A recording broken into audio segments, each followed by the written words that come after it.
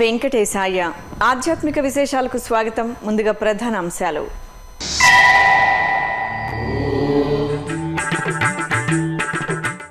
తిరుమల శ్రీవారిని దర్శించుకున్న తెలుగు రాష్ట్రాల గవర్నర్ వైకుంఠ ఏకాదశి ఏర్పాట్లను పరిశీలించిన ఈఎస్ఎల్ నరసింహన్.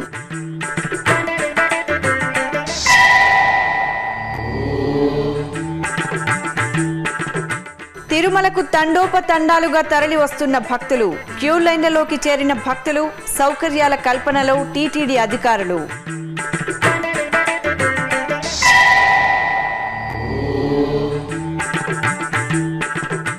హైదరాబాద్ తిరునిలయంలో టీటీడీ ఈవో సమీక్ష సమావేశం.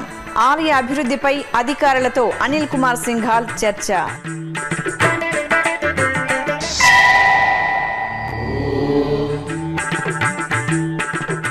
భద్రాచలంలో ముక్కోటి ఏకాదశికి సర్వం సిద్ధం. భక్తుల కోసం ఏర్పాట్లు పూర్తి చేసిన అధికార యంత్రాంగం. తిరుమల శ్రీవారిని ఉభయ తెలుగు రాష్ట్రాల గవర్నర్ ఈఎస్ఎల్ నరసింహన్ దర్శించుకున్నారు. ముందుగా తిరుమల సాంప్రదాయం ప్రకారం వరాహస్వామి వారిని దర్శించి పుష్కరిణి జలాలతో సంప్రోక్షణ చేసుకున్నారు. ఆలయం వద్దకు చేరుకున్న గవర్నర్ దంపతులకు తిరుమల జేఈఓ కె శ్రీనివాసరాజు ఇస్తికపాల్ స్వాగతం పలికి దర్శన ఏర్పాట్లు చేశారు.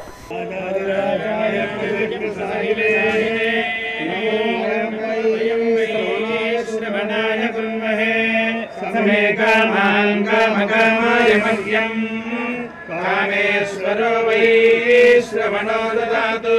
कुबेराय वै श्रमणाय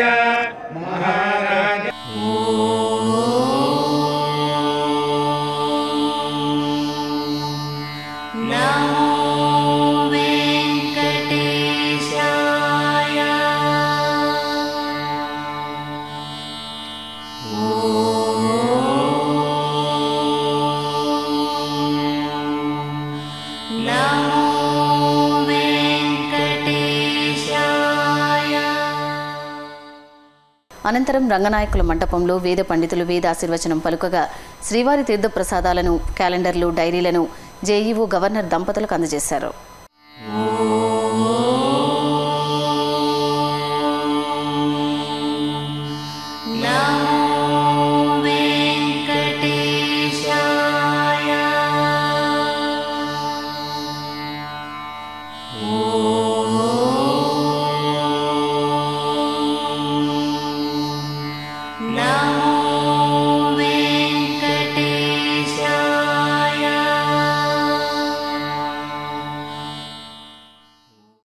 వైకుంఠ ఏకాదశి నేపథ్యంలో తిరుమలలో భక్తుల కోసం టీటీడీ చేసిన వైకుంఠ ఏకాదశి ఏర్పాట్లను ఉభయ తెలుగు రాష్ట్రాల గవర్నర్ ఈఎస్ఎల్ నరసింహన్ సోమవారం పరిశీలించారు.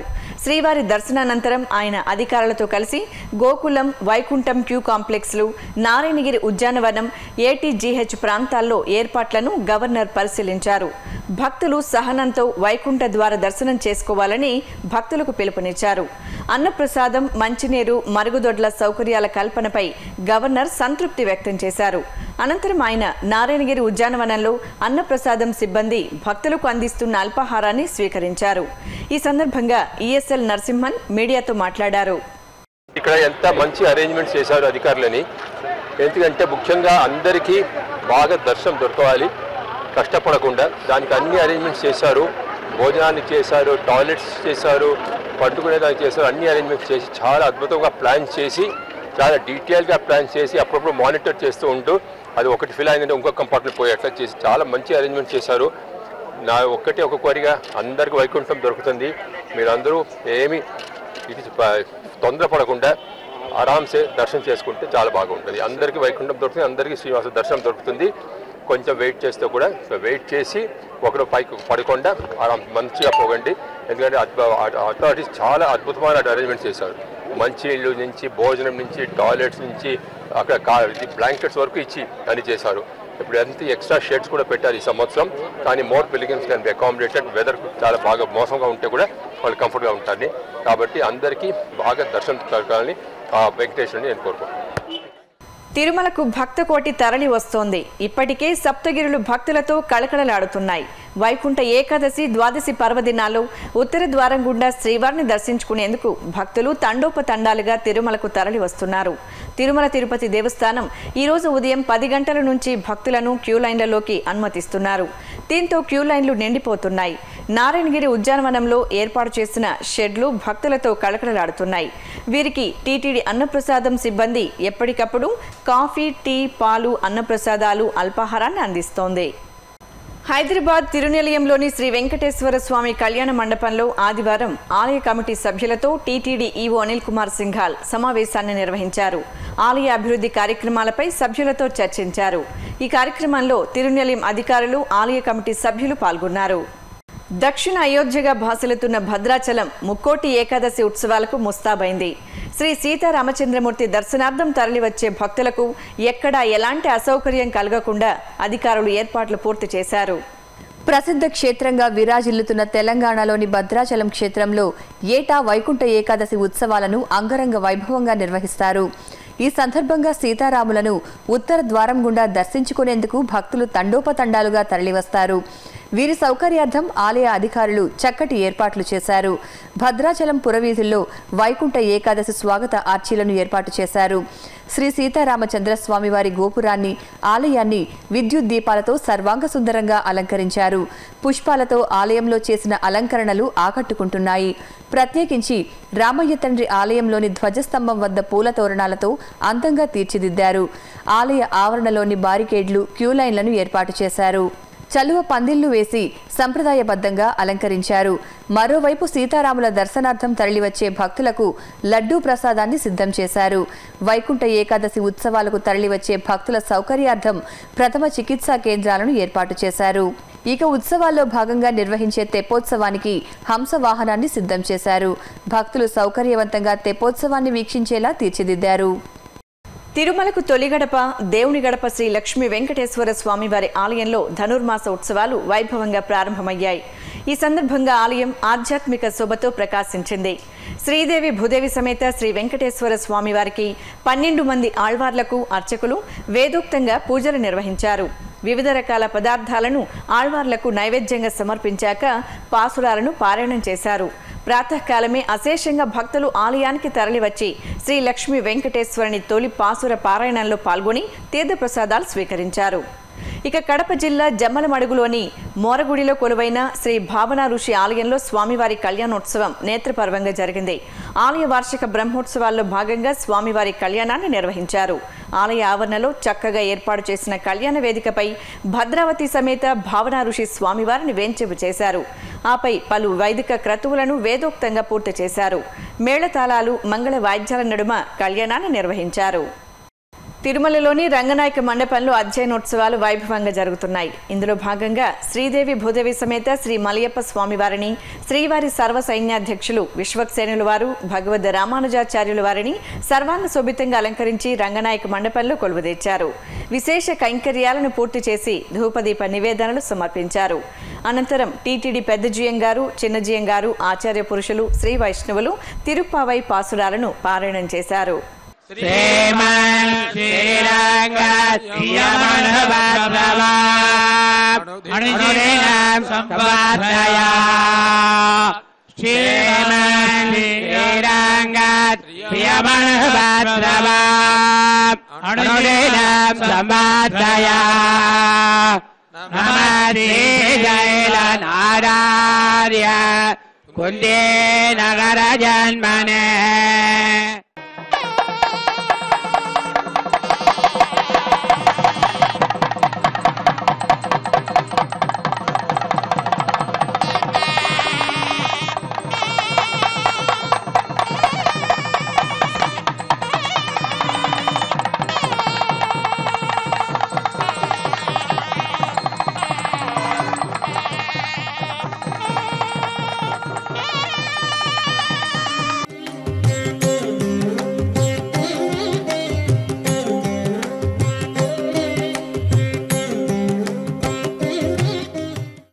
పన్నెండు వందల ఏళ్ళ క్రితం అవతరించిన శ్రీవైష్ణవ వైతాళికులు పన్నిద్దరు ఆళ్వారులలో ఏకైక మహిళ గోదాదేవి.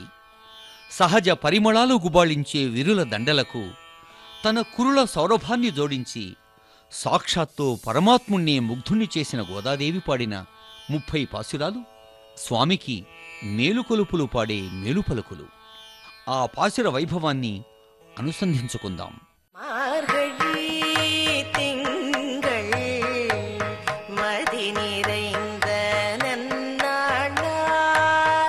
మాసానాం మార్గశీర్షోహం అన్నది భగవద్గీతా వాక్యం. భగవానుడు పలికినట్లు జన్మను చరితార్థం చేసుకునే సాధనకు అనువైన మాసం మార్గశీర్షం. ఉపనిషత్తులు బోధించిన ఉత్తమ రహస్యాన్ని తిరుప్పావై ద్వారా శ్రీవ్రతంగా లోకానికి అందించింది ఆండాళ్ తల్లి. ఆండాళ్ తిరువడిగళే శరణం. తిరుపతి కపిలతీర్థం రోడ్డులోని వరదరాజస్వామి ఆలయంలో రాజగోపాలన్ గారిచే తిరుపావై పాసుర ప్రవచన కార్యక్రమాన్ని నిర్వహించారు. ఈ కార్యక్రమాల్లో అధిక సంఖ్యలో భక్తులు పాల్గొన్నారు. నందగోపుడి యొక్క ద్వారానికి లోపలికి వెళ్ళి పాలు ఇచ్చింది కదా అక్కడే లాగేశాడు శక్తిని పడిపోయింది పూతన. పడిపోయిన తర్వాత పూతన శరీరం పెద్దగా మారిపోయింది. ద్వారం నుంచి యువతలు తీసుకురావడానికి కుదరలేదు. వెళ్ళినప్పుడు చిన్న రూపం కానీ పడిపోయినప్పుడు పెద్ద రూపం అయింది కాబట్టి ద్వారమంతా తీసి పూతనను బయటకు తీసుకురావడానికి రెండు రోజులు పట్టింది. ఆ రెండు రోజులు కూడా ఆ శరీరం నుంచి సుగంధం విదజల్లబడిందట కారణం కృష్ణ పాద స్పర్శ తగిలిన వెంటనే ఆ శరీరం అన్ ఆంతరికం కూడా సుగంధంగా మారిపోయింది. రానున్న వైకుంఠ ఏకాదశి ద్వాదశి పర్వదినాల్లో శ్రీవారి సేవకులు సేవా దృక్పథంతో భక్తులకు సేవలు అందించాలని టీటీడీ ప్రజా సంబంధాల అధికారి టి రవి కోరారు. ఆదివారం తిరుమలలోని సేవా సదన్లో శ్రీవారి సేవకులతో సమావేశం నిర్వహించారు. ఈ సందర్భంగా ఆయన మాట్లాడుతూ భక్తులకు ఎటువంటి ఇబ్బందులు తలెత్తకుండా శ్రీవారి సేవకులు సేవలందించాలన్నారు. ఈ కార్యక్రమంలో అన్నప్రసాదం ప్రత్యేక అధికారి వేణుగోపాల్ క్యాటరింగ్ ఆఫీసర్ శాస్త్రి ఇతర అధికారులు పాల్గొన్నారు. తిరుమలలో సుప్రభాతం స్థానంలో తిరుప్పావై పారాయణం ప్రారంభమైంది. ధనుర్మాసంలో సుప్రభాతానికి బదులుగా గోదాదేవి రచించిన తిరుప్పావై పాసుర పారాయణం చేయడం సంప్రదాయం. ఆ వివరాలేంటో తెలుసుకుందాం. ధనుర్మాసం వచ్చిందంటే చాలు. తిరుమల మరింత ఆధ్యాత్మిక పరిమళాలను వెదజల్లుతుంటుంది. తెల్లవారుజాము రెండు గంటల నుంచే ధనుర్మాస కైంకర్యాలు ప్రారంభమవుతాయి. సూర్యుడు ధనుర్రాశిలోకి ప్రవేశించడంతోనే ధనుర్మాసం ప్రారంభమవుతుంది. ఈ సందర్భంగా తిరుమల శ్రీవారికి ప్రత్యేక ధనుర్మాస కైంకర్యాలను చేస్తారు. తెల్లవారుజామున శ్రీవారిని సుప్రభాతం బదులు గోదాదేవి రచించిన పాసురాలతో మేల్కొలుపుతారు. మహాలక్ష్మి అంశతో జన్మించిన గోదాదేవి శ్రీవారిని కీర్తించి తరించింది. గోదాదేవిని ఆండాల్ పేరుతో కూడా పిలుస్తారు. సాక్షాత్తు రంగనాథుణ్ణి గోదాదేవి తన భర్తగా భావించి భగవంతుని స్తుతిస్తూ ముప్పై పాసురాలను రచించింది. ధనుర్మాసంలోనే గోదాదేవి కాత్యాయని వ్రతం చేసింది. శ్రీవారిపై ఆమెకు ఉన్న అపార భక్తి ప్రపత్తులకు చిహ్నంగా ధనుర్మాసంలో గోదాదేవి పాసురాలకు తిరుమల శ్రీవారి ఆలయంలో పెద్దపీట వేశారు. శ్రీవారికి సుప్రభాతానికి బదులుగా గోదాదేవి పాసురాలను గానం చేస్తారు. అలాగే గోదాదేవి ఆలయం ఉన్న శ్రీ విల్లిపుత్తూరు నుంచి గోదాదేవికి అలంకరించిన చిలకలను శ్రీవారికి కూడా అలంకరిస్తారు. సూర్యుడు మకర రాశిలోకి ప్రవేశించే వరకు ప్రతినిత్యం శ్రీవారి ఆలయంలో ధనుర్మాస కైంకర్యాలు నిర్వహిస్తారు. ఈ నెల పదహారున సాయంత్రం ఐదు గంటల తొమ్మిది నిమిషాలకు ధనుర్మాసం ఘడియలు ప్రారంభమై జనవరి పద్నాలుగుతో ముగియనున్నాయి. ఈ నేపథ్యంలో ఈ నెల పదిహేడవ తేదీ నుంచి స్వామివారికి సుప్రభాతం స్థానంలో తిరుప్పావై పాసురగానాన్ని నివేదిస్తారు. భోగ శ్రీనివాసమూర్తికి బదులుగా శ్రీకృష్ణ స్వామివారికి ఏకాంత సేవ నిర్వహిస్తారు. అలాగే శ్రీవారికి జరిపే సహస్ర నామార్చనలో ధనుర్మాసంలో మాత్రం తులసీ దళాలకు బదులు బిల్వ పత్రాలను ఉపయోగిస్తారు. పుణ్య ఫలాలను ప్రసాదించే ధనుర్మాసంలో గోదాదేవితో పాటు మనము శ్రీవారిని అర్చించి తరిద్దాం. తిరుమల వైకుంఠ ఏకాదశికి ముస్తాబవుతోంది. వైకుంఠ ఏకాదశి ద్వాదశి పర్వదినాలకు తరలివచ్చే భక్తుల సంఖ్యకు అనుగుణంగా తిరుమల తిరుపతి దేవస్థానములు పెద్ద ఎత్తున ఏర్పాట్లు చేస్తోంది. వచ్చిన భక్తులందరికీ శ్రీవారి దర్శన భాగ్యం కల్పించడమే లక్ష్యంగా చక్కని ప్రణాళిక రచించింది. భక్తులు ఇబ్బంది పడకుండా అద్భుతమైన వసతులను సమకూర్చుతోంది. వైకుంఠ ద్వారాలు తెరుచుకునే అద్భుత తిథి. ఈ రోజున ఉత్తర ద్వారం ద్వారా వైష్ణవాలయాల్లో స్వామివారిని దర్శించుకోవడం మోక్ష సాధనకు ఒక అత్యుత్తమ సాధనంగా భక్తులు భావిస్తారు. అందున తిరుమల శ్రీవారిని ఉత్తర ద్వారం ద్వారా దర్శించుకోవాలని ప్రతి భక్తుడు ఆరాటపడుతూ ఉంటారు. దీంతో వైకుంఠ ఏకాదశికి భక్తులు పెద్ద ఎత్తున తిరుమలకు చేరుకుంటారు. ఒక రకంగా శ్రీవారి గరుడ సేవ తరహాలోని భక్తులు తిరుమలకు తరలి వస్తూ ఉంటారు. ఈ అంశాన్ని పరిగణలోకి తీసుకున్న తిరుమల తిరుపతి దేవస్థానములు వైకుంఠ ఏకాదశికి నెల రోజుల ముందు నుంచి ఏర్పాట్లను ప్రారంభించింది. కిందటేడాది వైకుంఠ ఏకాదశి ద్వాదశి పర్వదినాల్లో లక్షా డెబ్బై వేల మంది భక్తులు శ్రీవారిని దర్శించుకున్నారు. ఈ గణాంకాలను దృష్టిలో పెట్టుకుని భక్తులకు కావాల్సిన వసతుల కల్పనకు టీటీడీ ముందుగానే శ్రీకారం చుట్టింది. ముఖ్యంగా వైకుంఠం క్యూ కాంప్లెక్స్లు నిండిపోయి భక్తులు బయట వేచి ఉండే పరిస్థితి ఉంటుంది కాబట్టి వీరి కోసం నారాయణగిరి ఉద్యానవనాల్లో పదహారు షెడ్లు ఏర్పాటు చేసి పది సెక్టార్లుగా విభజించారు. వీటికి అనుసంధానంగా మహిళలకు నూట ఇరవై ఎనిమిది పురుషుల కోసం నూట ఒక్క మరుగుదొడ్లు ఏర్పాటు చేశారు. ఈ పదహారు షెడ్లలో సుమారు పంతొమ్మిది వేల మంది భక్తులు వేచి ఉండడానికి ఏర్పాట్లు చేశారు. ఇక ఆళ్వార్ ట్యాంక్ వద్ద క్యూ లైన్లను ఆనుకుని షెడ్లను నిర్మించారు. వైకుంఠం క్యూ కాంప్లెక్స్ ఒకటి రెండు నారాయణగిరి ఉద్యానవనం ఆళ్వార్ ట్యాంక్ క్యూ లైన్లలో భక్తులు నిండిపోతే మిగిలిన వారిని మేదరమిట్ట వద్ద ఎన్ వన్ గేట్ నుంచి ఆలయ మాడవీధుల్లో ఏర్పాటు చేసిన షెడ్లలోకి తరలిస్తారు. ఇక్కడ సుమారు ముప్పై ఆరు వేల నుంచి నలభై వేల మంది భక్తులు వేచి ఉండేలా ఏర్పాట్లు చేశారు. గత ఏడాది అనుభవాలను దృష్టిలో పెట్టుకుని భక్తులు చలిబారిన పడకుండా తెరలతో కూడిన షెడ్లను ఏర్పాటు చేశారు. అలాగే ఇక్కడ భక్తుల సంఖ్య గరిష్టానికి చేరుకోగానే మిగిలిన వారిని పాప వినాశనం మార్గంలోని కళ్యాణ వేదిక వద్దకు అనుమతిస్తారు. కళ్యాణ వేదిక వద్ద వేచి ఉండే భక్తులకు వైకుంఠ ద్వాదశి నాడు దర్శనం కల్పించేలా టీటీడీ చర్యలు తీసుకుంటోంది.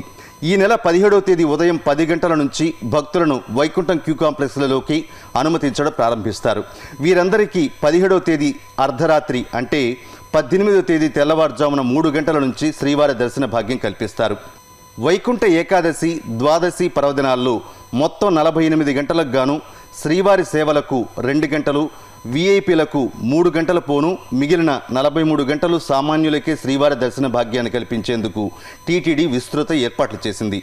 ఈ మేరకు వైకుంఠ ఏకాదశి నాడు ఎనభై వేల మందికి ద్వాదశి నాడు తొంభై వేల మందికి దర్శనం కల్పించేందుకు ప్రణాళిక సిద్ధం చేసింది. భక్తులకు ఎక్కడా ఎటువంటి ఇబ్బందులు తలెత్తకుండా పటిష్టమైన వసతులను కల్పిస్తోంది. అన్ని వేళలా అన్నప్రసాదం అల్పాహారం టీ కాఫీ పాలు అందించనున్నారు. ఈ మేరకు ఏర్పాట్లను ఇప్పటికే TTD EO Anil Kumar Singhal JEO KS Srinivasaraju పలుమార్లు పర్యవేక్షించారు. అధికారులతో విస్తృతంగా చర్చించారు. సుమారు వెయ్యి మంది ఉద్యోగులను మూడు రోజుల పాటు కొండపైనే విధులు నిర్వహించేలా ఆదేశాలు జారీ చేశారు. ప్రాంతాల వారీగా అధికారులకు బాధ్యతలు అప్పగించారు. ఉద్యోగులు భక్తులకు ఎలాంటి తోడ్పాటు అందించాలనే విషయమై జేఈఓ కె శ్రీనివాసరాజు ఇప్పటికే అవగాహన కల్పించారు. మొత్తం మీద కొండకు వచ్చే సామాన్యులందరికీ విమర్శలకు అతీతంగా చక్కని శ్రీవారి దర్శన భాగ్యం కల్పించేందుకు తిరుమల తిరుపతి దేవస్థానం ముమ్మర ఏర్పాట్లు చేస్తోంది. ఇప్పుడు ఒక చిన్న విరామం. శ్రీ వెంకటేశ్వర నిత్యాన్న ప్రసాదం ట్రస్ట్. అన్ని దానాలలో అన్నదానం మిన్న. తిరుమలకు లక్షలాదిగా తరలివచ్చే భక్తులకు శ్రీవారి అన్నప్రసాదం పేరిట ఉచిత భోజనాన్ని చక్కని సదుపాయాలతో నిత్యం అందిస్తోంది తిరుమల తిరుపతి దేవస్థానం. శ్రీ వెంకటేశ్వర నిత్యాన్న ప్రసాదం ట్రస్ట్ పేరుతో నడుస్తున్న ఈ మహాక్రతువులో మీరు భాగస్వాములు కండి తిరుమల శ్రీవారి అనుగ్రహాన్ని పొందండి. మరిన్ని వివరాలకు సంప్రదించవలసిన ఫోన్ నంబర్లు సున్నా ఎనిమిది ఏడు ఏడు రెండు రెండు ఏడు ఏడు ఏడు ఏడు ఏడు సున్నా ఎనిమిది ఏడు ఏడు రెండు రెండు మూడు మూడు మూడు మూడు మూడు లేదా టీటీడీ వెబ్సైట్ను చూడండి. WWW dot Tirumala dot org లేదా WWW dot TTD seva online dot com. ఓం నమో వెంకటేశాయ.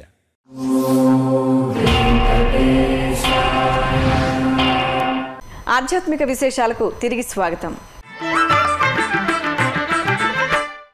కృష్ణా జిల్లా మచిలీపట్నంలోని టీటీడీ కళ్యాణ మండపంలో హిందూ సమ్మేళనం జరిగింది. తిరుమల తిరుపతి దేవస్థానం సమరసత ఫౌండేషన్ ఆధ్వర్యంలో హిందూ సమ్మేళనాన్ని వేడుకగా నిర్వహించారు. ఈ సందర్భంగా శ్రీదేవి భూదేవి సమేత స్వామివారికి అర్చకులు షోడశోపచారాలను పూర్తి చేశారు. ఆపై స్వర్ణాభరణాలు పూలమాలలతో చక్కగా అలంకరించి నివేదనలు హారతులు సమర్పించారు. భక్తులు భజనలు చేసి స్వామివారి సేవలు తరించారు. తూర్పుగోదావరి జిల్లాలోని ప్రసిద్ధ అన్నవరం సత్యనారాయణ స్వామివారి ఆలయంలో మెట్లోత్సవం ఘనంగా జరిగింది. ముందుగా స్వామి అమ్మవార్లకు నిత్య పూజలు నిర్వహించాక బంగారు ఆభరణాలు పూలమాలలతో సర్వాంగ సుందరంగా అలంకరించారు. స్వామి అమ్మవార్లను పల్లకీపై కొలువదీర్చి మేళతాళాలు మంగళ వాద్యాల నడుమ గ్రామోత్సవం జరిపారు. అనంతరం మెట్లకు పసుపు కుంకుమలతో పూజలు చేసి కర్పూర హారతలిచ్చారు తెలంగాణ రాష్ట్రం జగిత్యాలలోని గీతా మందిరంలో గీతా జయంతి ఉత్సవాలు జరిగాయి. ఈ ఉత్సవాల సందర్భంగా నిర్వహించిన భగవద్గీత పఠన పోటీల్లో వంద మందికి పైగా విద్యార్థులు పాల్గొని తమ ప్రతిభను కనబరిచారు. అనంతరం నిర్వాహకులు టీటీడీ ముద్రించిన పుస్తకాలను విద్యార్థులకు ప్రసాదంగా పంపిణీ చేశారు. అలాగే కరీంనగర్లోని మలయాళ సద్గురు గీతా మందిరంలో భగవద్గీత పోటీలు జరిగాయి. గీతా జయంతి ఉత్సవాల్లో భాగంగా నిర్వహించిన భగవద్గీత పఠన పోటీల్లో దాదాపు రెండు వందల మంది విద్యార్థిని విద్యార్థులు పాల్గొన్నారు. అనంతరం టీటీడీ ముద్రించిన పుస్తకాలను నిర్వాహకులు విద్యార్థులకు ప్రసాదంగా పంపిణీ చేశారు. వరంగల్లోని తిరుమల తిరుపతి దేవస్థానం కళ్యాణ మండపంలో గీతా జయంతి వేడుకలు జరిగాయి. టీటీడీ హిందూ ధర్మ ప్రచార పరిషత్ ఆధ్వర్యంలో మూడు రోజుల పాటు ఈ ఉత్సవాలు జరగనున్నాయి. ఈ సందర్భంగా నిర్వహించిన భగవద్గీత పోటీల్లో చిన్నారులు పాల్గొని శ్లోకాలను వినసొంపుగా పఠించారు. భద్రాచలం శ్రీ సీతారామచంద్రస్వామి ఆలయంలో వైకుంఠ ఏకాదశి ఉత్సవాల్లో భాగంగా స్వామివారు శ్రీకృష్ణ అవతారంలో భక్తులకు దర్శనమిచ్చారు. అందంగా అలంకరించిన స్వామివారిని మండపంలో వేంచేపు చేసిన అర్చకులు ప్రత్యేక పూజలు నిర్వహించారు. అనంతరం భక్తుల కోలాటాలు వేద మంత్రాలు మంగళ వాయిద్యాల నడుమ మిథిల ప్రాంగణానికి తీసుకువచ్చి భక్తులకు దర్శన భాగ్యం కల్పించారు. అనంతరం ఊరేగింపుగా గోవిందరాజస్వామివారి ఆలయానికి తీసుకువచ్చారు. తిరుపతిలోని అన్నమయ్య కళామందిరంలో టీటీడీ విశ్రాంత ఉద్యోగులను ఘనంగా సన్మానించారు. తిరుమల తిరుపతి దేవస్థానం ఆధ్వర్యంలో ప్రతి ఏటా డెబ్బై ఐదు సంవత్సరాలు నిండిన టీటీడీ విశ్రాంత ఉద్యోగులను ఘనంగా సత్కరిస్తారు. ఈ నేపథ్యంలో సోమవారం తిరుపతిలోని అన్నమయ్య కళామందిరంలో విశ్రాంత ఉద్యోగుల సంక్షేమ సంఘం వీరిని సత్కరించి శ్రీవారి తీర్థప్రసాదాలు శ్రీవారి వెండి డాలర్ స్వామి అమ్మవార్ల చిత్రపటాన్ని అందించారు. తూర్పుగోదావరి జిల్లా తుని గవరపేటలో వెలిసిన శ్రీ సూర్య భగవానునికి విశేష అభిషేకాలు జరిగాయి. వేకువజామునే పాలాభిషేకాన్ని నిర్వహించి పలు రకాల విశేష ద్రవ్యాలతో స్వామివారిని అభిషేకించారు. అనంతరం స్వామివారికి ప్రత్యేక పూజలు జరిపి ధూపదీప నైవేద్యాలు సమర్పించారు. భక్తులు స్వామివారిని దర్శించుకొని సేవించారు. దక్షిణ కాశీగా ప్రసిద్ధి చెందిన శ్రీకాళహస్తిలో ధనుర్మాసాన్ని పురస్కరించుకుని గొబ్బెమ్మ ఉత్సవాన్ని ఘనంగా నిర్వహించారు. ఆలయంలోని అలంకార మండపంలో అమ్మవారి ఉత్సవమూర్తిని సుందరంగా అలంకరించి మేళతాళాలు మంగళ వాయిద్యాల నడుమ మాడవీధుల్లో ఊరేగించారు. భక్తులు అమ్మవారిని దర్శించుకుని మంగళ నీరాజనాలు పలికారు. కృష్ణా జిల్లా జుర్జూరులోని శ్రీ యజ్ఞ దత్తాత్రేయ స్వామివారి ఆలయంలో దత్త జయంతి ఉత్సవాలను వేడుకగా నిర్వహిస్తున్నారు. ఇందులో భాగంగా స్వామివారికి అభిషేకాలను నిర్వహించి సర్వాంగ సుందరంగా అలంకరించిన తరువాత ధూపదీప నైవేద్యాలను సమర్పించారు. అలాగే ఆలయ ఆవరణలో లోక కళ్యాణార్థం లక్షదత్త హోమ కార్యక్రమాన్ని నిర్వహించారు. ఈ కార్యక్రమంలో అధిక సంఖ్యలో భక్తులు పాల్గొని స్వామివారి కృపకు పాత్రలయ్యారు. నంద్యాలలో కొలువైన శ్రీ వెంకటేశ్వర స్వామివారి ఆలయంలో స్వామివారికి సహస్ర నామార్చనను ఘనంగా నిర్వహించారు. ముందుగా స్వామివారిని స్వర్ణాభరణాలు పుష్పమాలలతో అలంకరించారు. అనంతరం భక్తులు సామూహికంగా విష్ణు సహస్ర నామార్చన కుంకుమార్చనలు నిర్వహించి మహామంగళహారతులు సమర్పించారు. భక్తులు స్వామివారిని దర్శించుకుని తీర్థప్రసాదాలు స్వీకరించారు.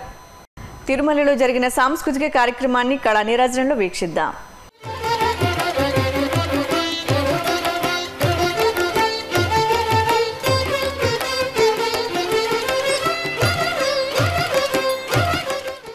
తిరుమలలోని నాదనీరాజనం వేదికపై జరిగిన కూచిపూడి నృత్య ప్రదర్శన భక్తులను ఆకట్టుకుంది.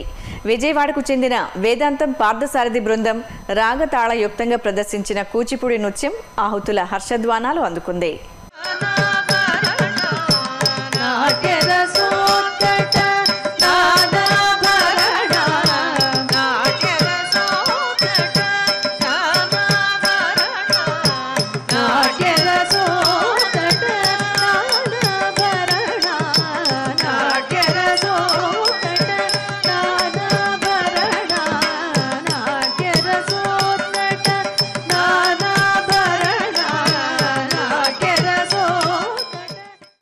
ఆధ్యాత్మిక విశేషాలు ఇంతటితో సమాప్తం. తిరిగి రాత్రి పది గంటలకు ప్రసారమయ్యే ఆధ్యాత్మిక విశేషాల్లో మళ్ళీ కలుసుకుందాం. ఓం నమో వెంకటేశాయ.